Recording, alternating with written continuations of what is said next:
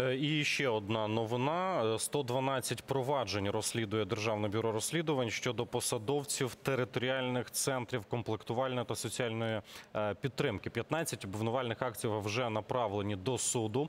Найбільше правопорушень було пов'язано саме із бажанням посадовців військоматів нажитися на війні. Зокрема, у Запоріжжі воєнком допомагав кримінальним елементам ховатися від суду і отримував за це гроші.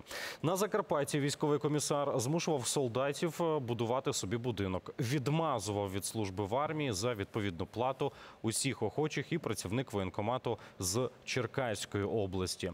На Київщині посадовець допомагав незаконно перетинати кордон чоловікам призовного віку. А у Полтавській області воєнком побив свого підлеглого. Ну, власне, фільмував це інший його колега. Тетяна Сап'ян з нами, це радниця з комунікації Державного бюро розслідувань. Пані Тетяно, вітаємо. Доброго дня. Вітаю, Олена, вітаю, Максиме. Так, ми з вами вже на, е, розпочали і про народних Давайте я спитаю. Та, давайте я спитаю спершу. Слухайте, мені от чесно по-людськи цікаво. Перше, чи вистачає вам паперу і зарядках ноутбуків документувати все це просто жабогадючиння? Це перше. І, і в який момент у слідчих ДБР волосся стає дибки? І яке слово, якщо воно ефірне, найчастіше вони вживають, коли приходять і розказують, описують всі ці ситуації? Я би назвала це все. Знаєте, колись програма така була на українському телебаченні. Можливо, вона і зараз є е, пекельна кухня. Так, от пекельна кухня тільки не в прямому, а в переносному значенні е, цього слова. Я би сказала, і для слідчих.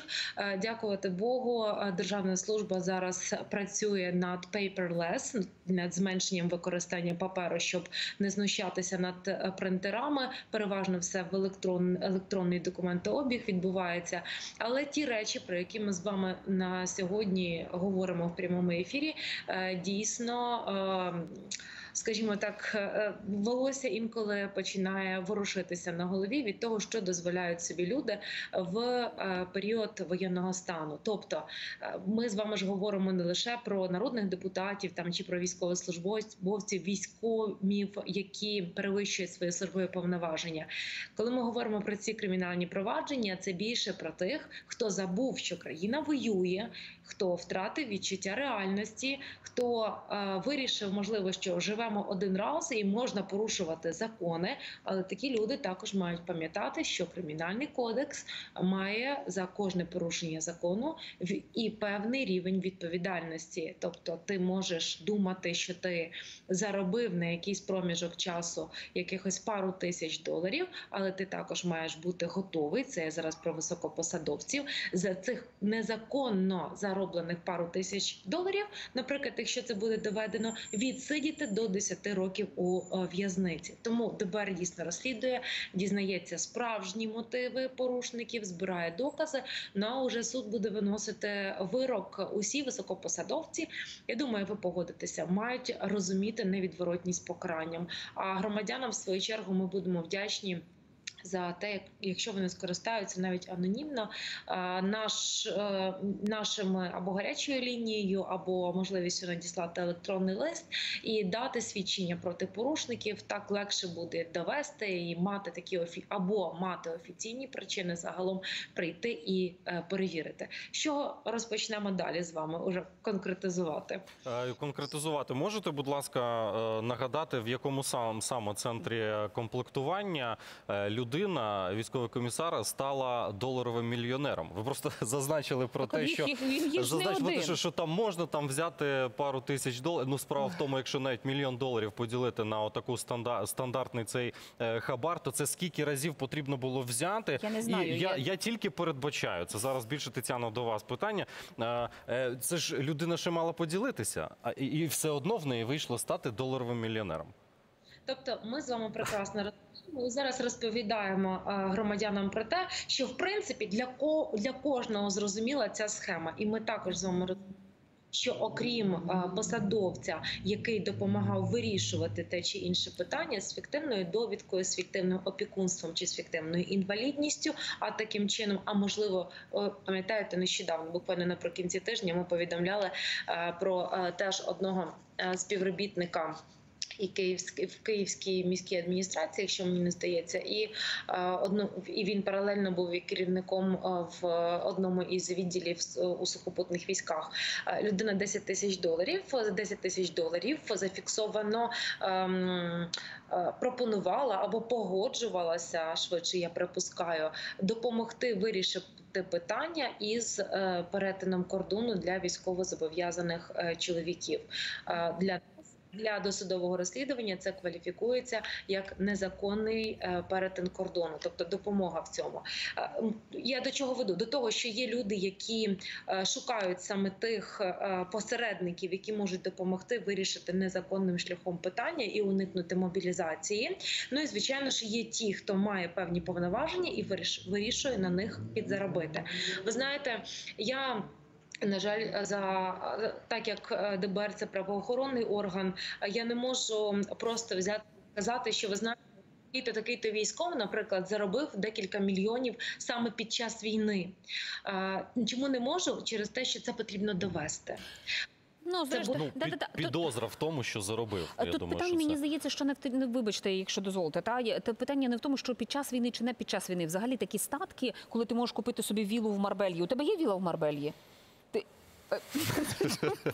Це Іспанія. е, Телевізійний ефір це офіційно, тому давайте будемо Ну, ставити да, да. питання. Ні, ну насправді, да, тобто це, це, це дуже серйозне питання. Пані Тетяно, а що з тим воєнкомом, який з Южного? Пам'ятаєте скандальна історія про те, що нібито він і двоє його е, колег, яких він там пригрів, е, мали би відправитися на фронт. Але очевидці ніби кажуть, що нікуди він не відправився, він залишається там на місці. Чи знаєте ви його долю?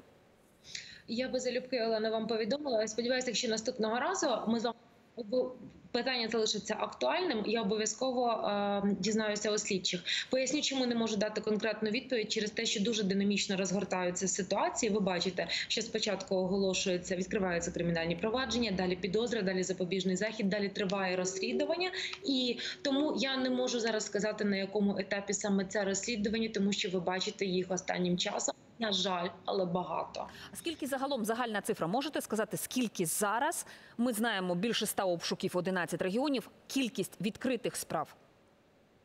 Зараз ми говоримо про те, що Державне бюро розслідувань початку повномасштабного вторгнення розслідує е, десь понад 112 порушень у військоматах. Це і перевищення службових е, повноважень, е, і інші форми порушення кримінального е, кодексу. Ну, зокрема, ми з вами бачимо, що інколи е, не знаю з яких мотивів там чи яке підґрунтя, можливо, високий рівень напруги, але навіть е, зриваються один на одному співробітники військоматів і чинять таку фізичну наругу. Я маю на увазі, що б'ють один одного. Е, Я зайшов от просто в пошуковику в, інтернеті, аби поцікавитися, чи мала ця цифра, чи велика. 112 порушень. Всього центрів комплектування по Україні 388, щоб ви всі розуміли. Тобто це дуже дуже надзвичайна цифра. У нас залишається хвилина. Пані Тетяно, ще от е, хотіли вас попитати з приводу е, е, цієї справи народного депутата Дубінського. Е, Знаємо, що призначені йому видані повістки чергові на е, відвідини правоохоронних органів. Е, Як розвивається от е, саме, саме ця справа? Максим приїжджає, бачу, що народний обранець приїжджає на допити. Не все йде гладко, звичайно, але процес триває. Е, І ви нагадаю ще, що це досудове розслідування відбувається за фактами службового підроблення і несанкціонованих дій з інформацією. Е, Це стаття 366 і 362. І якщо буде доведено, що такі дійсно порушення були скоєні народним обранцям, то можна позбутися волі на строк до 6 років. Зрозуміло. Які депутати ще під прицілом? Хто там виїжджав, заїжджав, невідомо що. Ви пам'ятаєте депутата, який вже не депутат наразі, який відпочивав на Мальдівах. е, Зараз обрано запобіжний захід, особисте зобов'язання до судове розслідування триває. Ви знаєте, що навіть якщо екс-депутат або екс-громадянин в даному випадку називаємо прізвище, тому що воно практично одіозне Рабінович, також триває підозра у держзраді, триває розслідування. Він е, під арештом, умовно, заочно. Ну і е, ще один діючий депутат підозрюється у державній зраді уже від недіючої партії ОПЗЖ А той, який в Болгарії відпочивав? на Мальдівах. Ні, а той, який відпочивав в Болгарії, це два різних депутати. Так, два різних я розумію. але про Болгарію поки що мені невідомо. Тетяно, ми вам Дякуємо дуже, надзвичайно вдячні так за інформативність і за настрій, до речі, також створений тут у нас у студії. Тетяна Сап'ян, радниця з комунікації Державного бюро розслідувань, була з нами на прямому зв'язку.